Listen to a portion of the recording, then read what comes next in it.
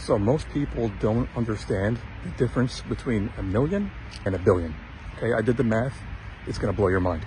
A million seconds is about 11 days. Okay, a billion seconds is 32 years, right? If I gave you $5,000 a day, every day, you'd have a million in about six months.